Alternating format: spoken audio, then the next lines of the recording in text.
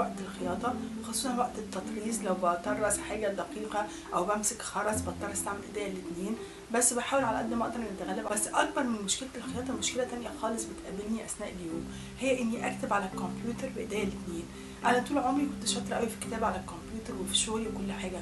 كنت سريعة قوي بكتب بايديا الاثنين بسرعة فائقة. للأسف بعد مشكلة إيدي دي بقيت أضطر إن أنا أستعمل إيد واحدة بس. ولو استعملت إيديا الاثنين الحاجة بتاخد مني وقت طويل قوي. فدي أكتر حاجة مضايقاني. أكتر حاجة نفسي فيها نفسي إن أنا أرجع أكتب على الكمبيوتر تاني بإيديا الاثنين والاثنين يبقوا زي بعض بالظبط في السرعة وفي الدقة وفي كل حاجة. نفسي قوي كده عشان أقدر أرجع زي ما كنت وأحسن.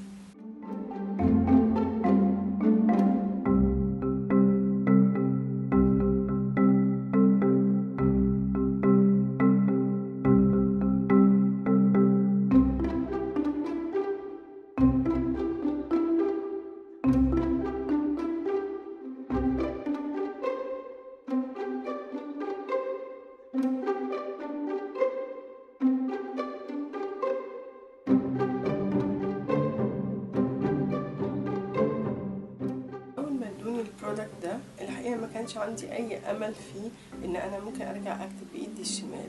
كان عندي حالة يأس إن أنا هفضل كده. بس الحقيقة بعد ما ابتديت أستعمله حسيت بفرق كبير. آه طبعا المشكلة ما اتحلتش تماما بس على الأقل قدرت تساعدني إن أنا أقدر أتعب تاني أو أكتب بإيدي الشمال وإن أنا أتحسن كتير عن الأول وإن أنا أقدر أكتب بإيديا الاتنين.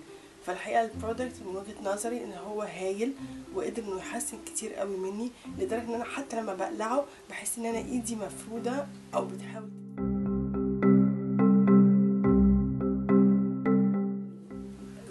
زي ما أنتوا شايفين كده بقدر أتحكم فيها عشان السكotش ده.